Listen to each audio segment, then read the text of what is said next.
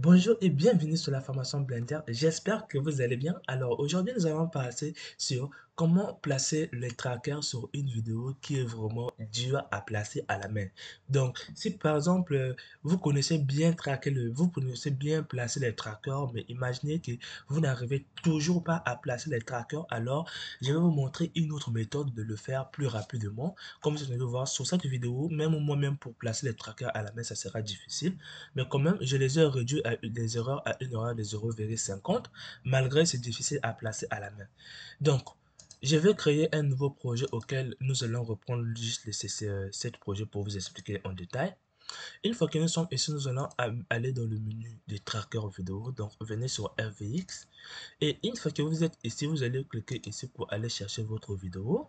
Donc, moi, ça se trouve juste ici vous allez aller chercher dans votre dossier. Une fois que je les ai fait, la première des choses, je vais juste recharger la vidéo. Donc, euh, je, je clique ici pour charger la vidéo. Je ne vais pas vraiment rentrer dans les détails de paramètres ici.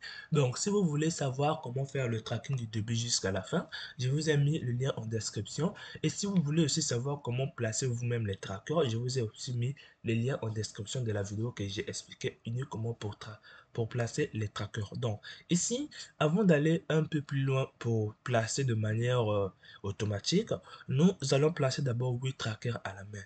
Donc, je vais venir ici. Comme vous voyez, j'ai placé un tracker, mais c'est petit. Donc, le tracker là ne peut pas servir à, ne peut servir à rien. Donc, vous pouvez agrandir avec la touche S. Vous pouvez euh, tourner avec la touche R et vous pouvez déplacer avec la touche G. Donc, vous pouvez supprimer avec la touche X ou avec le bouton X ou encore supprimer juste ici. Alors, euh, je vais placer encore un tracker en, maintenant la, euh, la touche contrôle et en cliquant. Et là, vous avez placé un tracker. Donc, quand j'augmente la taille. Euh, maintenant, vous voyez, mes trackers se créent, quand je crée les trackers, les trackers sont petits, vous pouvez, pouvez augmenter la valeur ici.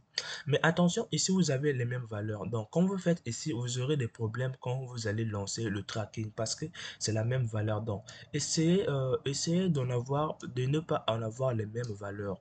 Donc une fois que j'ai fait, quand je fais ici, j'ai bien augmenté la taille de mon tracker qui est là et même la zone de recherche. Donc pour voir la zone de recherche, vous pouvez cocher 6 ou encore vous faites Alt S. Donc là, la zone de recherche est là, son paramètre est là, et là pour intérieur, son paramètre est là.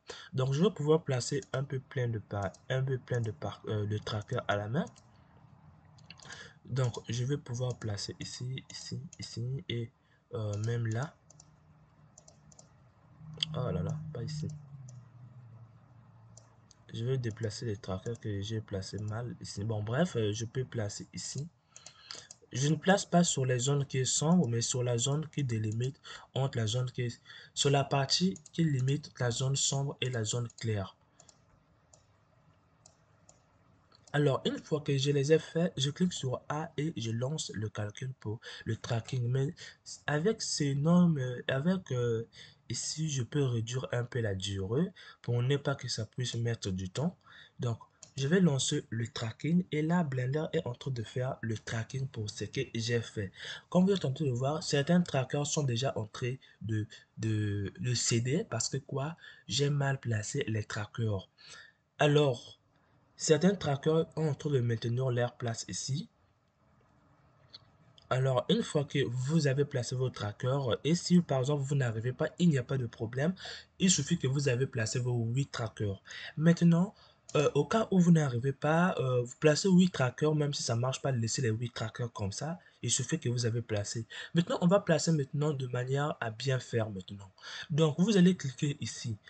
On va faire placer les trackers au début et à la fin. Donc, je vais changer l'algorithme pour prendre le preview qui peut bien maintenir, qui peut bien calculer pour maintenir les places. Donc, je, je détecte et là, je vais lancer le calcul.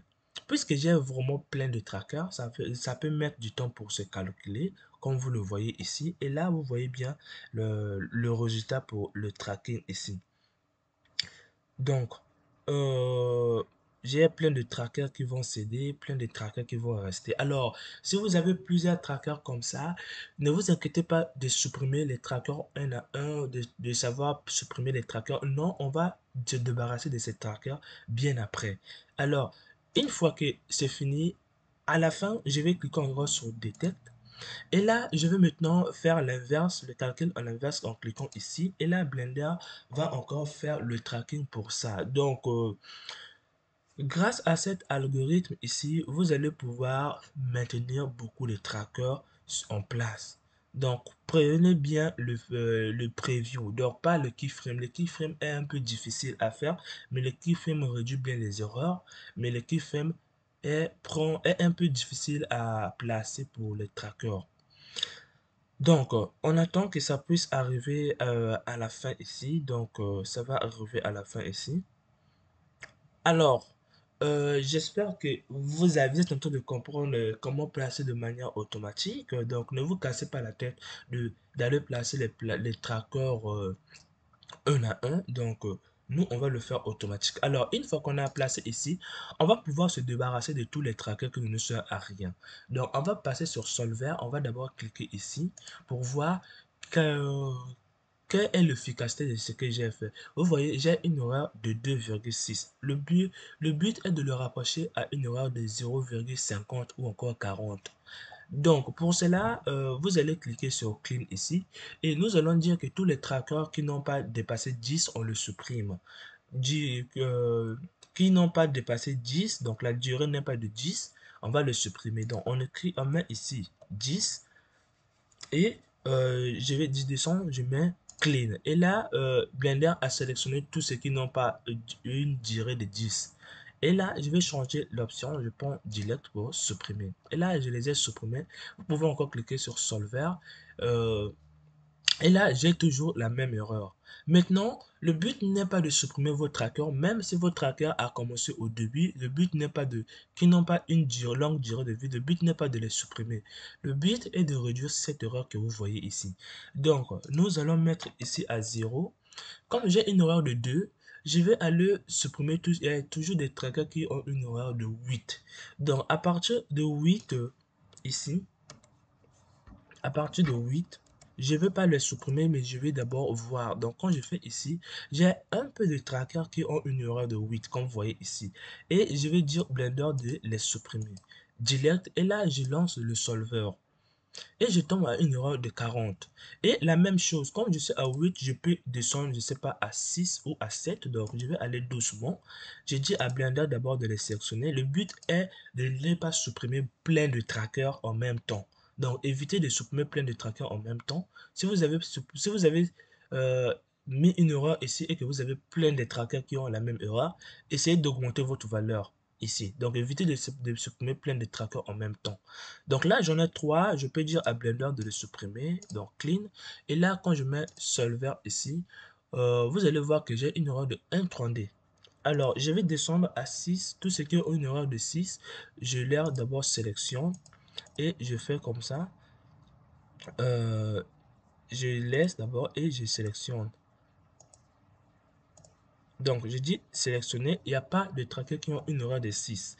Donc, je vais descendre à 5 et je dis à Bernard de sélectionner. J'ai trois trackers qui ont une erreur de 5. Alors, je vais dire à Blender de les supprimer en changeant juste l'option et je fais Solver. Et là, je suis à une erreur de 1,27, ça s'est diminué. Je descends à 4 j'ai dit à Blender d'abord de le supprimer. Je vais les supprimer en, en masse. Donc j'ai seulement deux. Je peux, là, je peux supprimer. Ici, en faisant euh, ici clean. Et je mets solver. Je suis à 1 heure de 20, 1 heure de 23. Je mets 2. Euh, je mets 2 euh, par exemple ici. Et je mets ici. Je, je change l'option. Je mets. Et là, j'ai sélectionné plein de trackers. Le but n'est pas vraiment de supprimer ça en gros. Donc, moi, je vais éviter de supprimer en gros. Il faut toujours éviter de le supprimer en gros. Donc, je mets 3. J'ai dit à Blender de sélectionner le tracker. Donc là, c'est un peu beaucoup. Je, peux, je vais mettre 3, 3,5. Donc, comme je vous ai dit, le but n'est pas de supprimer plein de trackers. Et là, je peux les supprimer en venant ici. Donc, si vous voulez, vous pouvez supprimer vous-même en touchant sur la touche Sup. Et si vous, avez supprimé, et là, vous allez faire euh, le preview. Et euh, je vais prendre tout ce qui ont une erreur de 3, je fais comme ça. Et là, vous pouvez supprimer vous-même en cliquant sur, le, sur la touche X. Donc, je suis à une erreur de 1, Donc, je vais prendre maintenant 2.5. Euh, donc, je vais aller doucement. Je vais prendre une erreur de 2. Je dis à Bernard de les sélectionner. J'ai plein de trackers. Je vais augmenter à 2.5. Alors, là, euh, je dis à Blender de les sélectionner. Et là, j'ai un peu plus beaucoup, mais je vais les supprimer quand même. Ça dérange.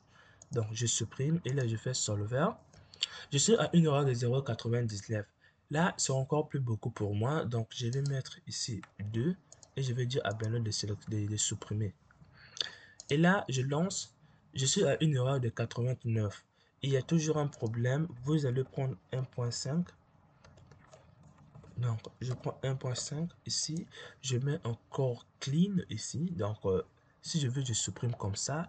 Et là, ça supprimait tout ce qui a une erreur de 1.5 et je lance le calcul. Je suis à une, erreur de 0,73. Même chose, je viens à 1 maintenant et je dis à Blender de supprimer et je fais comme ça.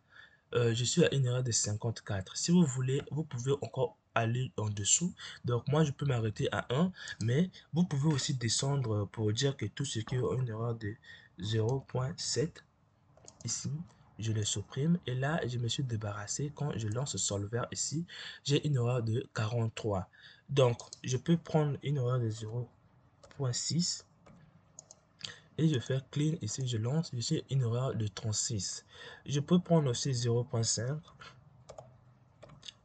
et je fais clean et là je, je, lance je suis à une erreur de 29 si vous voulez vous pouvez encore aller plus loin comme vous le pensez si vous voulez.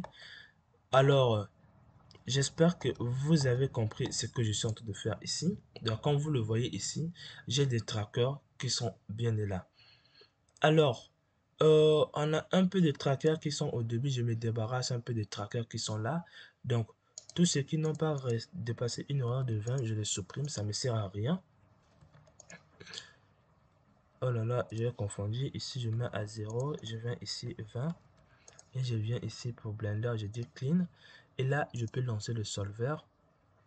Euh, ici, on me dit que euh, vous devriez avoir 8 trackers placés que vous avez supprimés. Donc, euh, je vais faire CTRL Z pour ne pas aller dans les erreurs.